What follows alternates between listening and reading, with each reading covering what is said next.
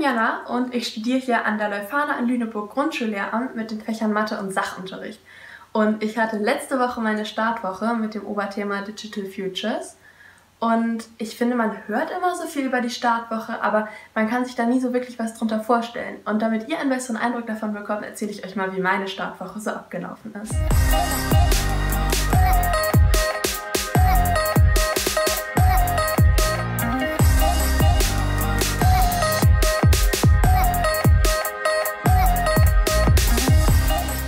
Die Startwoche hier in Lüneburg ist mit allen Erstsemestern zusammen und findet auf Englisch statt. Und ich habe mir vorher schon so ein bisschen Gedanken gemacht, ob ich alles verstehe. Aber in den meisten Fällen war das Englisch echt gut zu verstehen. Und wenn man mal doch was nicht verstanden hat, konnte man gut auf Präsentationen mitlesen. Und so die allerwichtigsten Fragen wurden dann auch auf Deutsch geklärt. Ich habe morgens immer um 9 der Uni angefangen. Das ging dann so bis 16, 17 Uhr. Das klingt super, super lange, aber die Zeit ging richtig, richtig schnell vorbei. Äh, vor allem, weil es auch eine lange Mittagspause gab. Und die war ich dann häufig in der Mensa mit Freunden oder habe auch zu Hause was gegessen. Wir haben morgens immer im Auditorium, das ist der große Hörsaal im neuen Zentralgebäude, angefangen und haben da zum Beispiel weitere Informationen zu unserem Studiengang gekriegt. Ich zum Beispiel habe meine Fächer, also Mathe und Sachunterricht kennengelernt und auch schon ein paar Dozenten kennengelernt. Das war super schön, weil man dann mal Gesichter vor Augen hatte. Oder wir haben Debatten oder Beiträge oder Vorträge gehört zu dem Oberthema Digital Futures, was wir dann in den Projektthemen umsetzen konnten.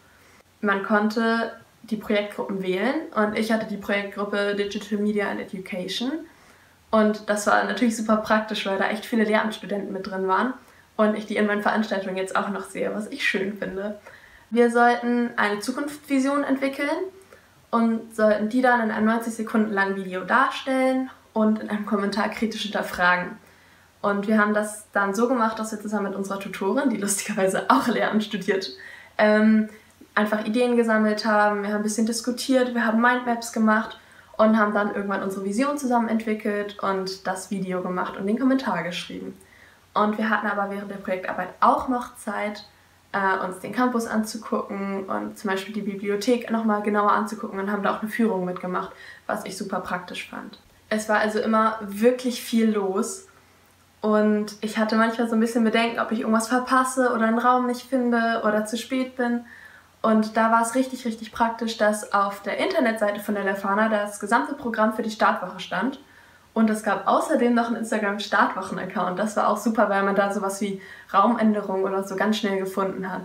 Und ansonsten konnte man auch immer die Leute vom Orga-Team oder Mentoren oder Tutoren fragen und die hat man erkannt, weil die so einen coolen Leuphana-Pulli anhatten. Und die konnte man wirklich immer ansprechen und alles fragen, die haben einem immer geholfen. Es liefen wirklich viele Leute auf dem Campus rum und ich hatte so das Bedenken, oh, ich kenne niemanden, also ich kannte meine Mitbewohnerin, aber das war die einzige, die ich kannte. Und habe mich gefragt, wie schnell man so neue Leute kennenlernt, aber das ging wirklich, wirklich schnell. Vor allem durch meine Projektgruppe habe ich halt schon viele Leute kennengelernt und wir haben auch abends viel auf der Mensawiese gesessen oder Spiele gespielt.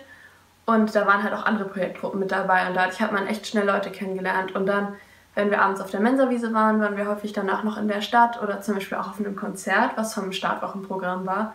Und da waren so viele Leute, dass man immer neue Gesichter gesehen hat und einfach mit jedem ins Gespräch gekommen ist. Das war total nett. Ich hatte aber zum Beispiel einen Abend auch einfach das Bedürfnis, mit meiner WG was zu machen und da war es super, dass das Abendprogramm echt flexibel war und ich dann halt einen netten WG-Abend gemacht habe, was auch richtig, richtig schön war.